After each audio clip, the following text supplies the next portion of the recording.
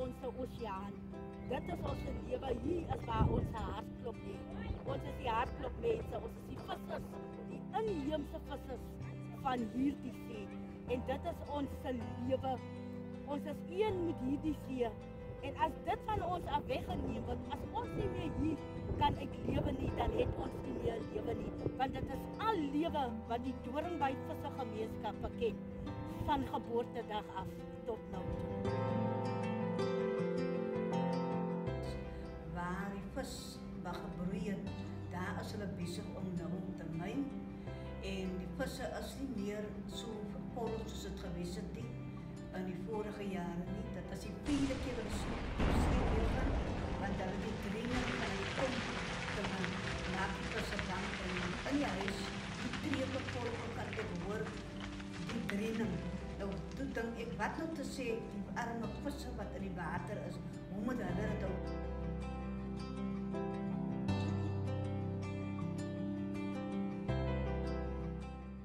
They use drawings and focus group discussions to explore and find answers together.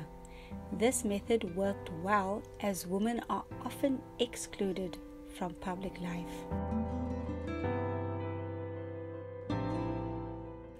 Women were given a training workshop on a topic of their choice, and they were trained in understanding the research process so that they could be on equal footing with the research team and the process. Die research het iets in my uitgebring waar wat ek kan vandag met lof sê, ek kan nou uitgaan in my gemeenskap en baie meer met lof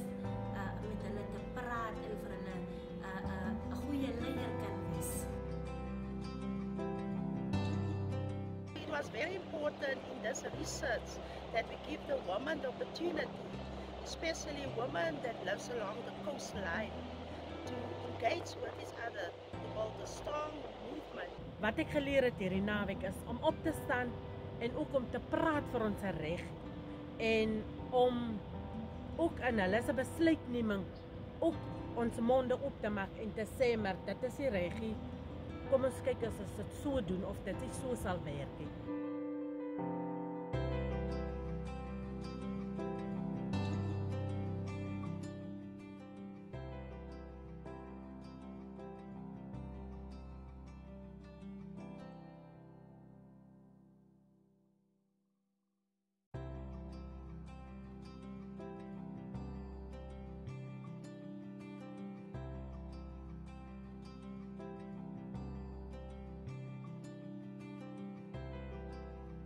This research process has created an awareness, and the women who participated in the research started to explore alternative means of income, such as gardening crops, creating arts and craft products, and recycled waste goods. They developed the courage to engage the mine bosses and government departments armed with the research. The women are now empowered to engage in advocacy with key players, government departments for fishing quotas, and to ensure meaningful space for public participation. Women have now become self reliant and they found their creative voice. Daar is oplossing vir probleme in die gemeenskap.